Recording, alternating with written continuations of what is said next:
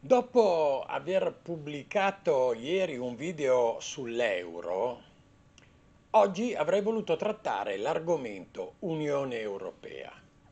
Ma eh, leggendo alcuni commenti che avete voluto postare a margine del video di ieri e dopo aver risposto a- ad alcuni di questi commenti, insomma, riflettendo sul fatto che le risposte scritte ai commenti sono lette poi alla fine solo da pochi ascoltatori, allora ho ritenuto che fosse ehm, così utile pubblicare un video nel quale rispondo ad alcune vostre osservazioni.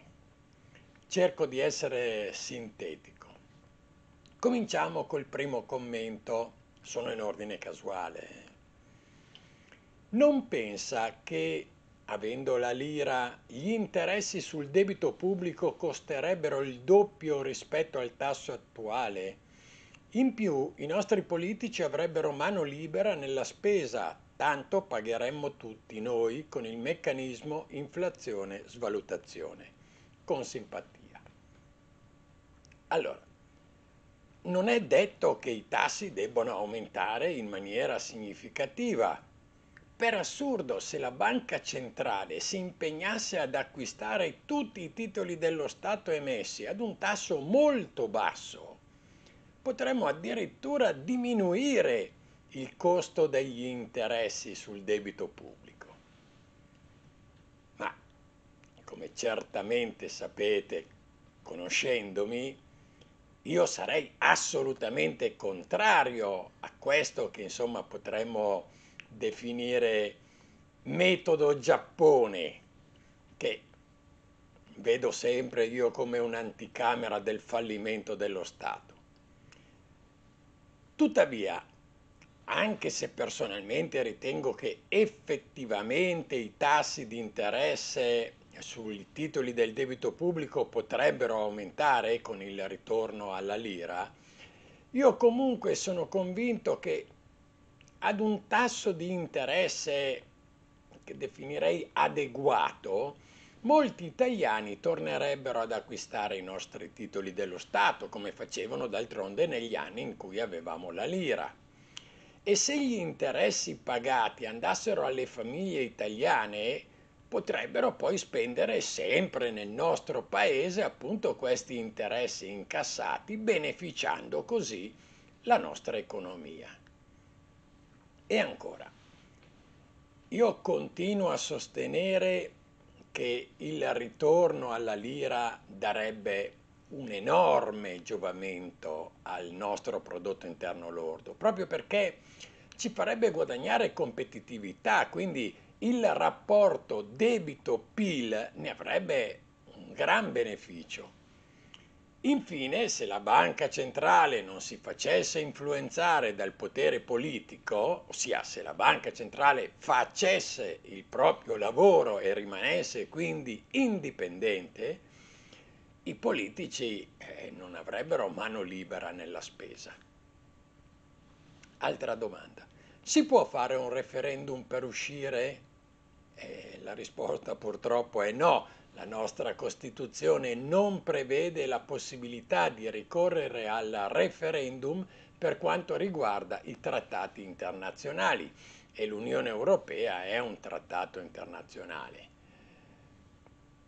Poi eh, passiamo alla prossima domanda che naturalmente non poteva mancare. Sentite.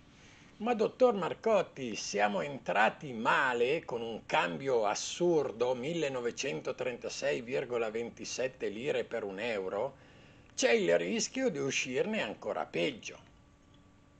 Allora, i miei eh, più affezionati ascoltatori penso che saranno stufi di sentirmelo dire, ma a loro rispondo, beh, come vedete ci sono sempre persone che eh, continuano a ripeterlo e a mia volta ovviamente mi costringono quindi a ripetermi.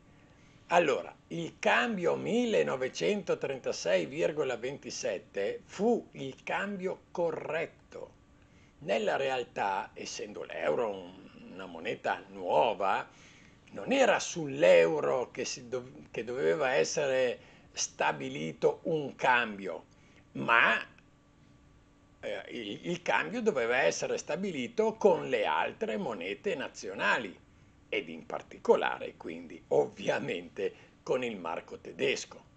E allora quel cambio che sembra astruso 1936,27 invece va letto come 990 lire per un marco tedesco, che era il cambio ufficiale.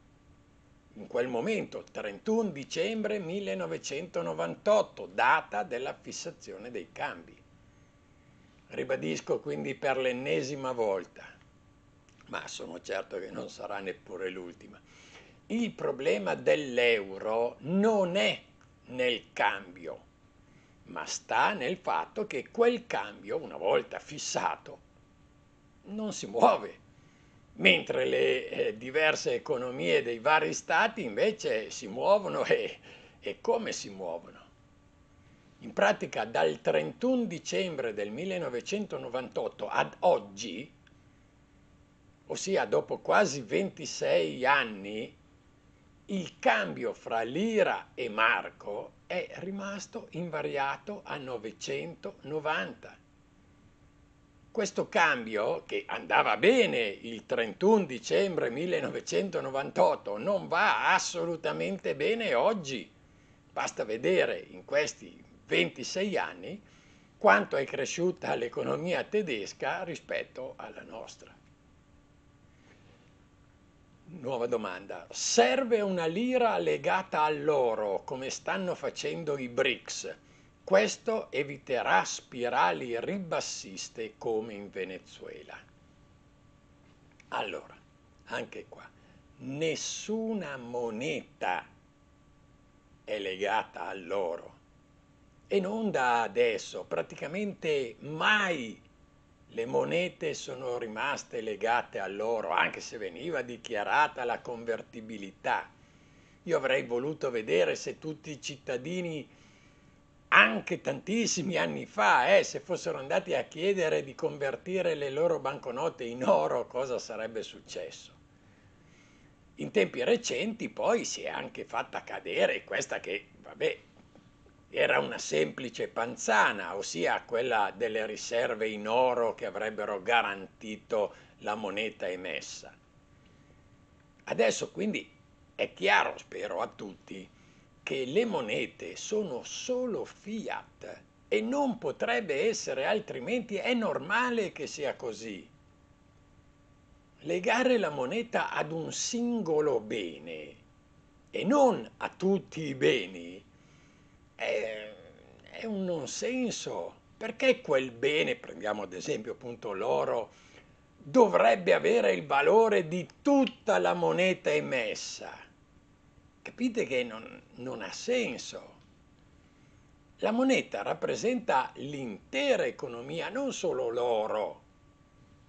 Qualsiasi cosa, un paio di occhiali, un telecomando, un, un rotolo di scotch, un, un cellulare, naturalmente avete capito, insomma, sto elencando delle cose che in questo momento sono sulla mia scrivania, ma anche la mia scrivania stessa, naturalmente, tutto questo è stato prodotto emettendo moneta. Quindi il valore della moneta è data da tutto ciò che si è prodotto emettendola. Naturalmente non solo i beni fisici ma anche i servizi. Anche l'eventuale futura moneta dei BRICS, io non so se verrà mai emessa, ma potrà essere solo fiat. Passiamo a un'altra domanda. Marcotti, ma se con l'euro i prezzi delle cose sono lievitati, Tornando alla lira, pagheremmo queste cose con il prezzo ancora in euro, esempio una pizza a 20.000 lire che per l'epoca era una follia? Eh, certo, non è che passando alla lira i prezzi scendano.